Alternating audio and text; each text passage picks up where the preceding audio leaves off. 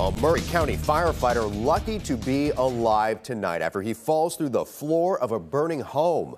Thank you for joining us for News 2 at 4. I'm Mark Kelly. Andy Cordan has this story of a hero saving a hero.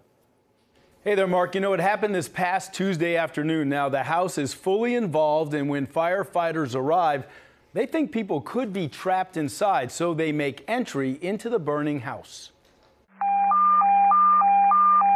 Tuesday afternoon. Maury County Fire Respond 1828 Monsanto Road. Fire erupts inside this house on Monsanto Road It's going to be a structure fire. with flames all around them. The black smoke coming from the house. Members of the Maury County Fire Department make entry Heavy fire, Bravo side. and begin searching for possible victims inside. The engine crew, they forced entry and uh, began with a fire attack. As they push deeper into the burning home, suddenly Uh, one of the firefighters partially fell through the floor, he's trapped. so he w- was wedged into the hole in the floor. The firefighters immediately signal Mayday. And then he tapped me on my leg once he had already fell through the hole.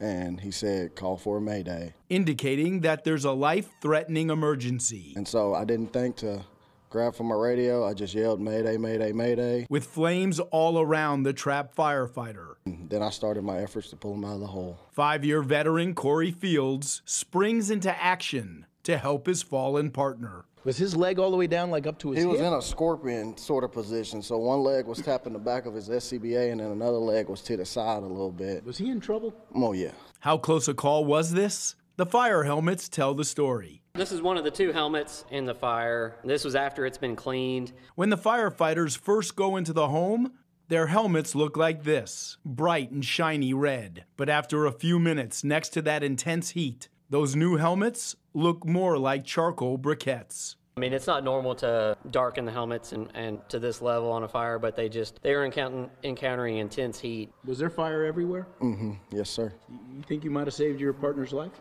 I believe so. Yes, sir. I appreciate you doing that. I bet he does. What did he say to you afterwards? He said, thank you, man. Thank you. I bet That he- really means a lot. It's Christmas time. Oh, yeah. That was your gift to him. wasn't yes, it? sir, it was. That's cool. Now, thankfully, none of the firefighters was seriously injured, and it turns out there were no residents inside that house at the time of the fire. That's really good news. Back to you guys. Oh, such a good story, Andy. Thank you so much. Well, the cause of the fire is still under investigation. Fire officials telling News 2 it does not appear suspicious.